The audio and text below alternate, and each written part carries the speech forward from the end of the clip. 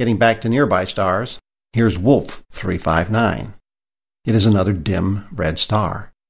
In fact, it's one of the least luminous stars known.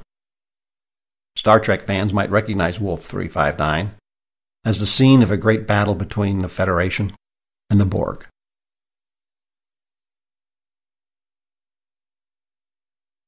Lalande 21185 is another dim red star.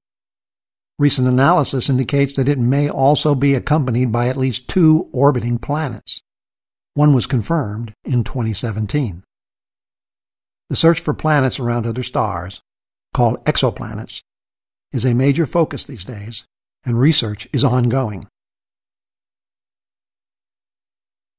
This Hubble image shows a white Sirius A the brightest star in our nighttime sky. Along with its faint, white, tiny stellar companion, Sirius B. The two stars revolve around each other every 50 years. Here we have our first parallax star, 61 Cygni again.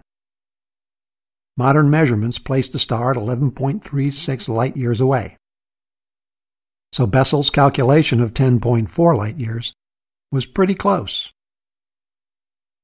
61 Cygni has another claim to fame in that it was first noted to have high proper motion as early as 1792, when it got the nickname Flying Star.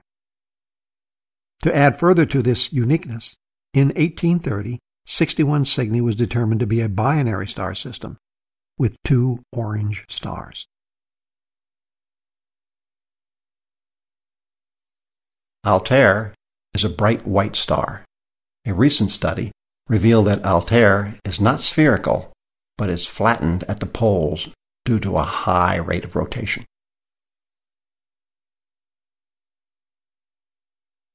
Vega is a bright white star and one of the most luminous stars in the Sun's neighborhood. It has been extensively studied. It was the first star to be photographed by astronomers in 1850. It was the North Pole star around 12,000 BC and will be so again around 13,700 AD. This image of Fomalhaut, surrounded by a ring of debris, was taken by Hubble.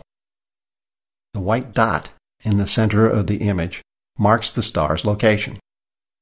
It's a bright white star, but the region around it is black because astronomers use the advanced camera capabilities to block out the star's bright glare so that a dim planet called Fomalhaut b could be seen.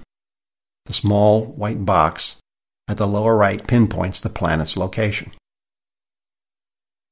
These observations offer insights into our solar system's formative years, when the planets played a game of demolition derby.